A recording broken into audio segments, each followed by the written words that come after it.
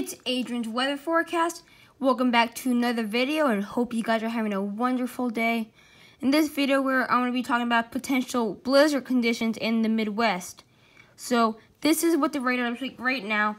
Um, so you see no snow there in Midwest, just some little mix, in there's parts of Iowa. But as it goes on to the weekend, you can see some snow intensifies there in South Dakota and parts of Nebraska and it stays there for a while. By December 2nd, it starts to get out of uh, uh, South Dakota and stays in Nebraska, and then still in Nebraska there December 3rd, finally leaves and goes on and disappears, and then, yeah, it's gone. But you can see it, how intensifies from being nothing there to just look at that blizzard blizzard conditions. The states that will have blizzard conditions next week uh, will be South Dakota, Nebraska, and parts of Iowa.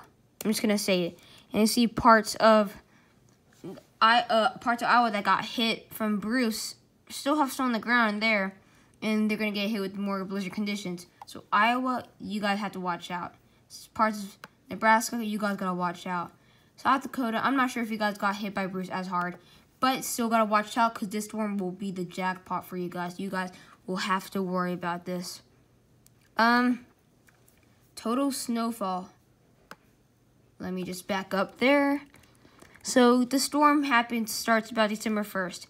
So it mainly will happen around the it will mainly happen in South Dakota, Nebraska, and Iowa. And by December 4, 1st, it already have 4 inches there, goes to 8, and goes to 10. So basically, it starts from 0 inches parts of Nebraska and South Dakota, and by end of the day, it's at 10 inches. And then by Sunday, it's at 14 inches, you guys. This will be blizzard conditions. And as you see there, parts of Oregon get 25 inches there. And then it moves on to Iowa, gets 8 inches. The south part of South Dakota is going to get the jackpot, but the west can get 7 inches, but the northern part get about 1. And Minneapolis could get hit by this, or will, but not as bad and then it just goes to the south. And then it just goes right to Erie. But you can see the potential. Let me just zoom in guys for you guys. Um just want to let you guys clearly see. So it starts from zero. So this is December 1st to that. In two days. And then it gets stronger and stronger so guys, we have to we really have to watch out about this. Um just wanna let you guys know about this. Um let's go to the um sorry guys. Oh, let's go check out the humidity because this will bring a big factor. So guys, this is what day? This is December 4th. Why is it like that?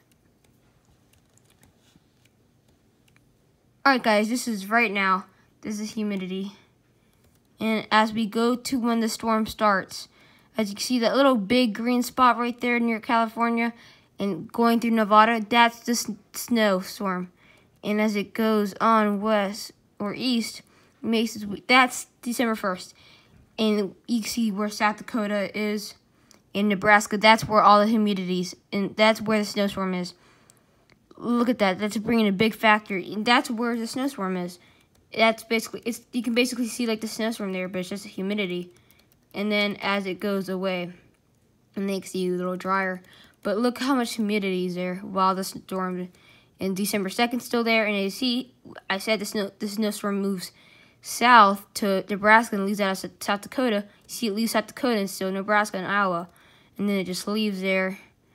Then the next couple of days, you can see, ooh, maybe even the snowstorm over the south. You can see that December 8th, parts of the south gain some hum humidity. That can be some snow. Um, let's check out the, um, sorry guys, not working. Let's check out the, um, total accumulated precipitation.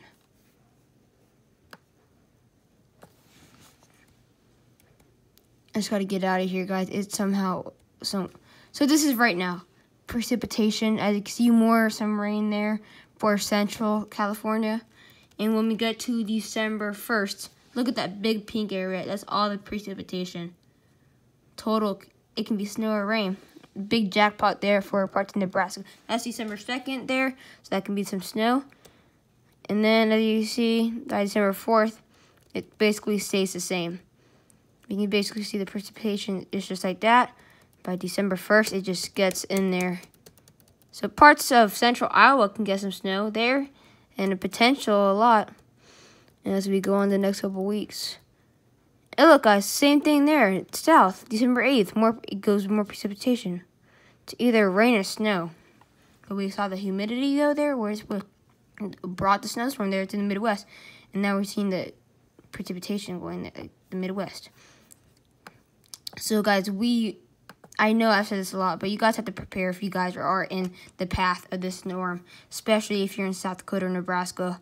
If you're in Minneapolis or parts of South Iowa, I wouldn't worry as much because, but because you guys you guys are getting hit hard, but not as hard as, um. Well, yeah, you guys kind of know, but.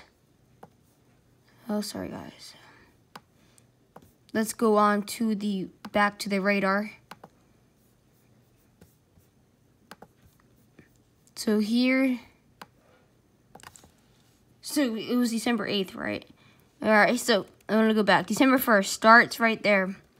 Goes through South Dakota, leaves South Dakota, and stays in Nebraska and Iowa, and parts of Minnesota, and then it just goes on. So I think it was December 8th or 9th where I saw that. I'm trying to check it. All right, there's December 8th. Parts of the South Oh yeah, December 9th, there. And let's go more to the future. Ooh, look, some snow there for December 12th for parts of Georgia, if that's correct. Well, guys, that is the video. Hope you guys liked it. Don't forget to like and subscribe, and don't forget to hit that bell because you get instant notifications on your YouTube if I made it was when I made a video. Hope you guys liked it. If I did anything wrong, comment. Comment to me below if you are in the path of the storm. And comment to me below how many entries you got so far. And hope you guys liked the video. Don't forget to like and subscribe. And yeah. Bye guys. Hope you guys liked it.